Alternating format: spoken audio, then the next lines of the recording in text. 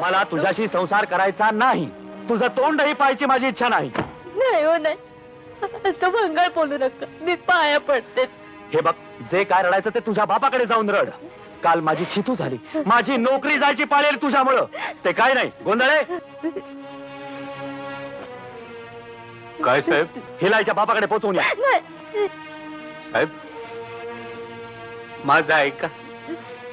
जरा सबुरीने घ्या साहेब.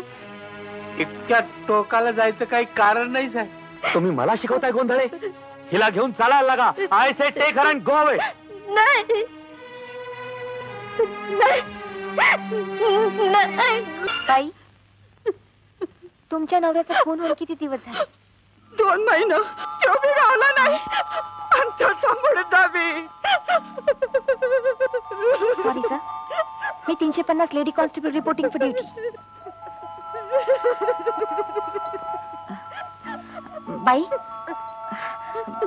बाई तुमच्या नवऱ्याचा खून होऊन दोन महिने झाले. मग तुमच्या कपाळाला कुंकू कसं?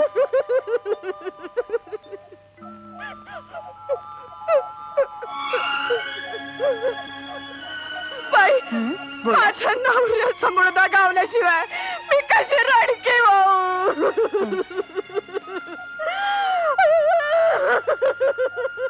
हे बघा आम्ही सगळी चौकशी करतो. जातो. पाटील काय? या खुनाच्या संदर्भात मला काही जबाब घ्यायचे. यापूर्वी जबाब घेतल्यात बाई. पूर्वी घेतले असतील पण मला पुन्हा जबाब घ्यायचे. बर. मग आपण त्यांच्या गावालाच जाऊन चौकशी करा.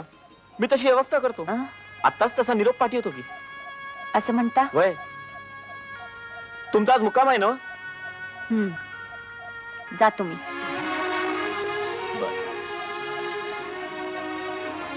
गोंधळे जी साहेब. ती लेडी कॉन्स्टेबल म्हणजे अगदी माझ्या बायको मी सुद्धा एकदा असाच चक्कर होतो. हा. एकदा काय साहेब. मी एका लग्नाला गेलो होतो. एकटाच. बर. आणि मांडवामध्ये एक बाई माझ्यासमोर चाललेली. हा. डिट्टो आमच्या आंबाबाई चालणं अंगलट अगदी आमच्या बायको सारखी बर. मला वाटलं आपल्याला बनवली काय? म्हणून मी पुढे गेलो. त्या खांद्यावर हात ठेवला. आणि ती बाई वळली आणि खाडकन माझ्या तोंडात मारली. हा. माझ्या हो. हा बरोबर आहे. हा, ती कशी असेल? हा, ती बाई. दुसरीच होती. तेव्हापासून कानाला खडा लावला की आपल्या बायको सारखा दिसणाऱ्या सगळ्या बायका आपल्या नसतात. हो, काय? हो. हा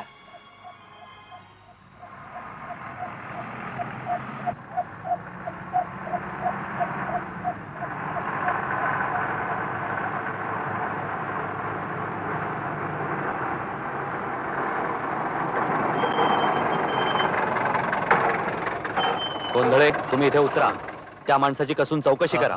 आणि पुढील गावातील चावडीवर या. मी तुमची वाट पाहतो. चला बाई.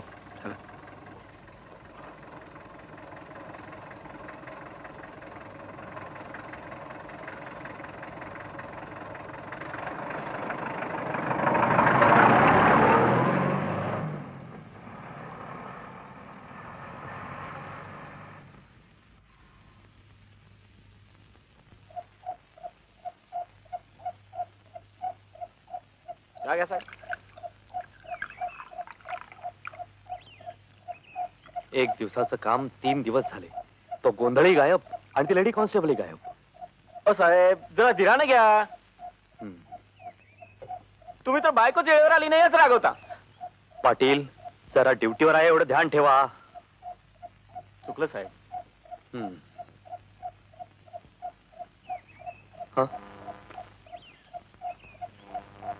गोंधळे कुठं होतात तुम्ही? साहेब सांगतो ना. हा कोण आहे माहितीये का तुम्हाला? हा? यो तर बजरंग बाल टक्के. हा? ज्याचा खून झाला होता तो हा. पण साहेब याचा खून झालाच नव्हता. हा बेळगाव जवळच्या एका खेड्यात लपून बसला होता. काय रे सांग ना. काय सांगताय? साहेब या बजरंगचा सगळा कट उघडकीस आणण्याची खरी कामगिरी आपल्या नंबर तीनशे पन्नासची. अहो त्यांनी गावात दहा ठिकाणी चौकशी केली. आणि हा बजरंग फरारी झालेला आहे. आणि बेळगाव जवळच्या एका खेड्यात लपून बसलाय. अशी माहिती काढली. आणि म्हणून आम्ही तिथून जाऊन त्याला पकडून आणला.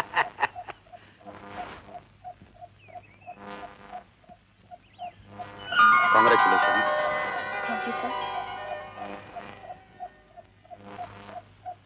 आत्ता साहेब!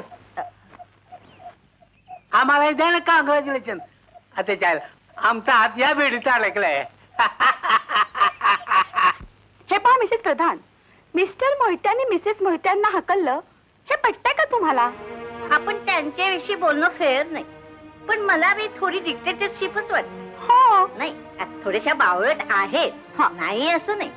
पण थोडीशी ऍडजस्टमेंट करायला नको होती का मिस्टर मोहित्यानी? हो ना. मग? आता माझा नवरा. त्याला कधीही म्हंटल ना की सिनेमाला चल की तो हमखास नाटकाची तिकीट काढून आणतो. असा राग येतो ना तेव्हा त्याचा?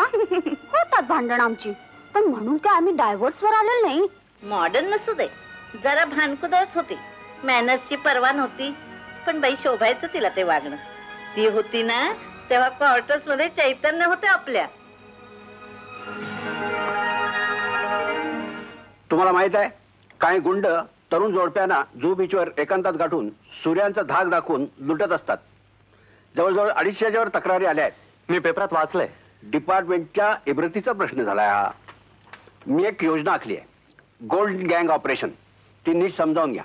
बरं. जुहू बीचवर जोडपं म्हणून जायचं. मी एकट्यानं जोडपं म्हणून जायचं?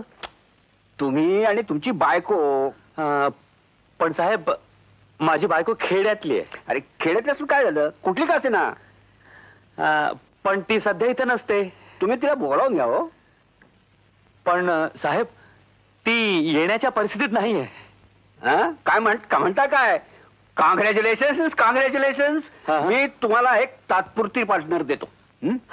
चौपाटीवर प्रेम करीत बसा. प्यार करना हो तो चना खाओ. इंतजार करना हो तो सिंह चबाओ प्यार करना हो तो चना खाओ. इंतज़ार करना हो तो सिंह चबाओ बाबू जी कुछ चना चाहिए? चल हट। मुझे कुछ भी नहीं चाहिए। ऐसा कभी होता है बाबू जी चना नहीं तो सिंह लीजिए। चले जा यार यहाँ से। क्या बदतमीजी है?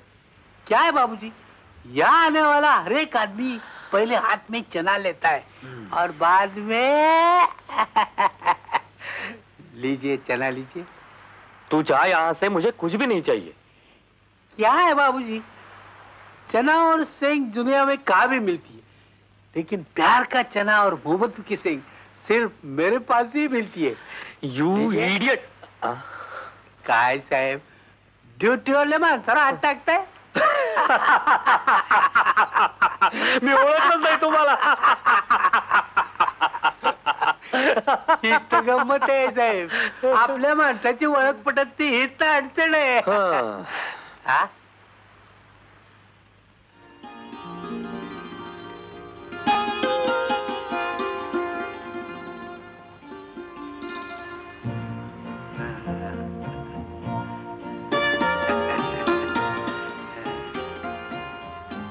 प्यार करना हो तो चना खाइए इंतज़ार करना हो तो सिंह चबाइए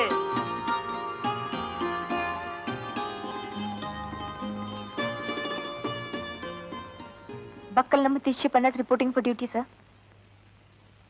तुम्ही? तुमची काय हरकत? छे छे. अं, उलट बरं वाटलं. काय? नाही म्हणजे मागे एका केसमध्ये आपण बरोबर होतो ना? म्हणजे तेवढीच आपली ओळख आहे नाही का? हो ना. चांगलीच ओळख आहे. हा? नाही म्हणजे मी एवढ्यासाठी म्हटलं की ही ड्युटी तशी वेगळी आहे. म्हणजे जवळ बसावं लागेल. मी सरकारी हुकमाची ताबेदार आहे. तुम्ही म्हणाल तितकी जवळ बसेन मी. ड्युटी म्हणून. हं? आपण तिकडे आडोशाला बसूया का? हं, मी कमरेवरती हात ठेवला तर चालेल ना? ड्युटी म्हणून कंबर तुमचीच आहे.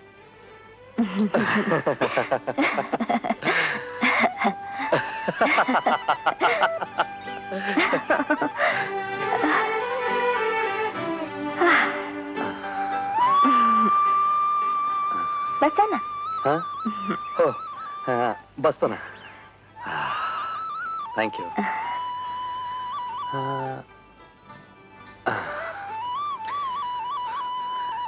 मी काय?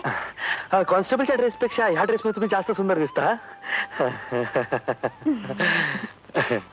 साहेब. उगीच खोटी स्तुती करायचं कारण नाही. तुम्ही मला जवळ घेऊ शकता. अगदी बायको हं. सांग काय झालं? हं. काही नाही. पण बायकोचं नाव घेऊ नका. ओह सॉरी हा? मला माहीत नव्हतं. केव्हा वारले त्या? वारल्या नाहीत.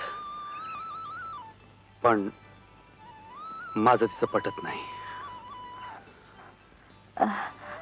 कुरूप आहेत त्या. उगीच खाजगी प्रश्न विचारू नका. प्लीज. सॉरी सर साहेब हा. भेळ आणता भेळ? हा? हा. अहो प्रियकरांनी भेळ आणायची असा कायदा असतो इथं. पण मी भेळ आणू? हो. आणि तुम्ही आता प्रियकराच्या भूमिकेत आहात. साहेब आणि. येताना एक गजरा सुद्धा आणा. ड्युटी म्हणून हं. हो.